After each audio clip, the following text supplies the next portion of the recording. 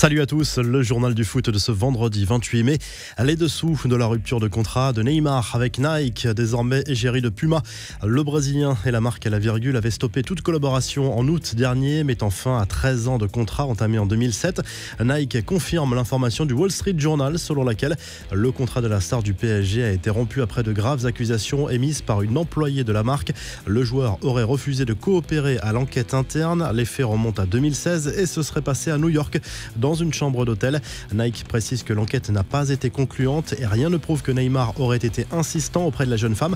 Le clan du Brésilien a fermement démenti toutes ces accusations. Les infos et rumeurs du mercato, ce n'est pas encore officiel, mais deux ans après son départ, Massimiliano Allegri devrait être prochainement nommé comme le nouvel entraîneur de la Juve. À en croire les informations de la Gazette dello Sport ce vendredi, le technicien italien n'est pas opposé à un départ de Cristiano Ronaldo. L'agent du joueur aurait même pris contact avec le PSG pour savoir si le club parisien était éventuellement intéressé par l'attaquant portugais. Maurizio Pochettino peut-il déjà quitter le PSG, arrivé en janvier dernier pour succéder à Thomas Tourel Le technicien argentin n'a pas réussi à amener ses joueurs vers le titre de champion de France cette saison, mais difficile de le juger sur une demi-saison. Pourtant, certains médias étrangers l'imaginent déjà sur le départ. La presse anglaise le voit revenir à Tottenham. La presse espagnole le cite parmi les successeurs potentiels de Zidane sur le banc du Real Madrid. À Paris, tout le monde assure que Pochettino sera bien là la saison prochaine. Le coach parisien multiplie d'ailleurs les réunions pour préparer le mercato. Il a également accordé une interview au site officiel du club pour parler des ambitions pour le futur avec le PSG.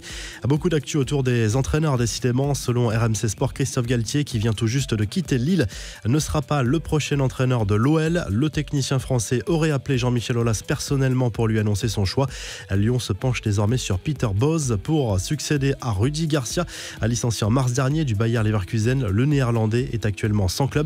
Alvaro González à l'OM, l'histoire continue. Le défenseur espagnol a signé un nouveau contrat avec le club marseillais, prolongeant d'une saison supplémentaire, soit jusqu'en 2024.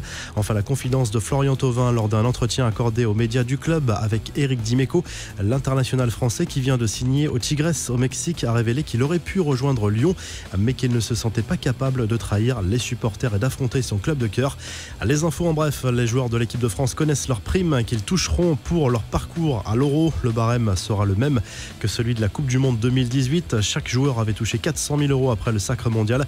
Ce sera à peu près la même chose en cas de victoire à l'Euro, même si cela dépend en fait du nombre de victoires dans la compétition.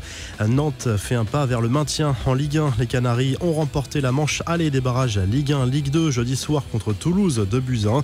Le match retour est prévu dimanche prochain à la Beaujoire.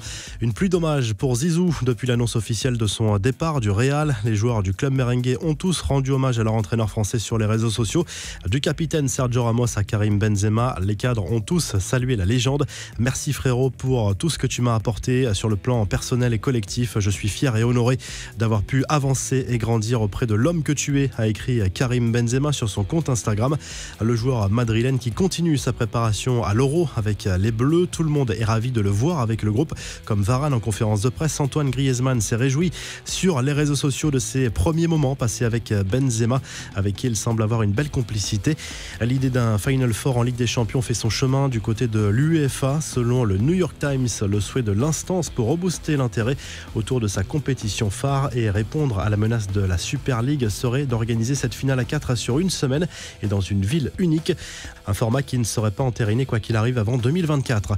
Et si les hors-jeux étaient vérifiés automatiquement par une intelligence artificielle, d'après le Times, la FIFA est satisfaite d'un dispositif expérimental qui automatise le processus d'analyse du hors-jeu au cours d'un match. Une utilisation pourrait avoir lieu dès la fin de l'année 2022 à l'occasion de la Coupe du Monde au Qatar. Des tests auraient déjà été effectués lors de matchs de Première Ligue. Vous le connaissez grâce à des émissions de survie à la télévision. Selon Bild, Joachim Löw, le sélectionneur allemand, a fait appel à l'aventurier Mike Horn pour motiver ses joueurs avant de disputer l'Euro. L'Allemagne commencera la compétition le 15 juin prochain face à la France. Enfin, Gims pourrait composer la chanson officielle de la Coupe du Monde 2022 au Qatar. Le rappeur pourrait se rendre prochainement dans l'Émirat pour enregistrer cette hymne d'après le journal Le Parisien. La revue de presse, le journal L'équipe consacre sa une au départ de Zidane du Real Madrid. D'après les informations du quotidien sportif, l'ancien numéro 10 compte bien rebondir rapidement, peut-être du côté de la Juve qui cherche un remplaçant à Pirlo, même si Allegri est désormais le favori. En Espagne, on parle également très largement du départ du technicien merengue et de sa succession à l'image du journal AS. Raoul, Xabi Alonso, Antonio Conte et même Maurizio Pochettino sont cités parmi les potentiels successeurs de Zizou. Le journal Sport évoque l'avenir de Ronald Koeman explique que le technicien néerlandais ne démissionnera pas de son poste. Si le Barça veut s'en séparer, il faudra donc le virer et payer environ 13 millions d'euros, correspondant à une année de salaire plus une indemnité de licenciement.